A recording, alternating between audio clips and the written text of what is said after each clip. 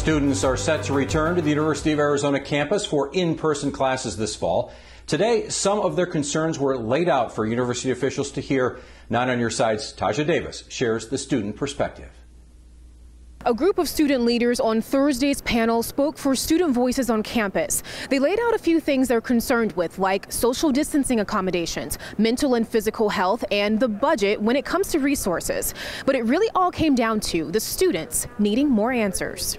Last night I was talking with my roommates and we were discussing what the new normal is going to look like in the fall semester. Elections, labs, social events. Rusk said there's a lot of uncertainty amongst the student body.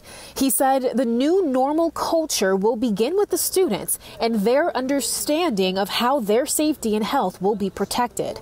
But Courtney Halsey with Veterans Education Transition Services said they need to know what those guidelines are the consensus I've gotten from um, military connected students is that they, they want to come back. They really do. I think, but what we need is just guidelines to tell us what does coming back and staying safe and healthy look like. A lot of our military connected students are using GI Bill benefits and that affects their income. Right. And if we're not in person, then we're getting a lower rate for students with disabilities and illnesses, for example, the Disability Resource Center wants clarity on the flexible options the university says will be available.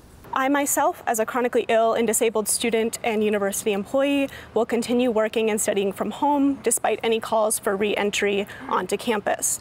I'm fortunate to have this flexibility and support built into my job, although I know this is not the case for everybody.